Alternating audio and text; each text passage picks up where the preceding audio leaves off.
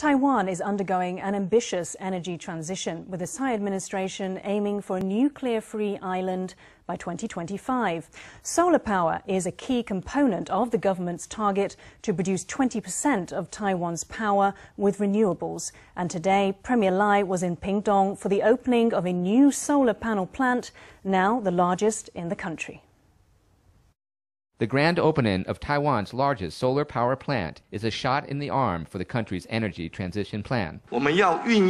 We want to employ renewable energy sources to replace the 15% of the grid currently supplied by nuclear. Put another way, by 2025, the government, along with industry and all sectors of society, will work together to achieve the goal of 20% of our power coming from renewables, and solar will be the most significant part of this 20%. Solar and hydropower are major elements in the government's effort to achieve a nuclear free Taiwan by 2025.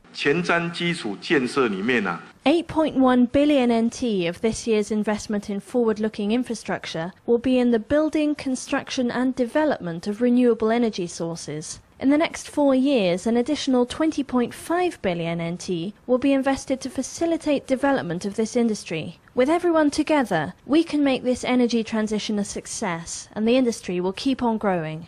Situated in Pingtung's Daching Industrial Park, the panels made at the new plant of over 46,000 square meters are expected to produce 2 billion watts of power.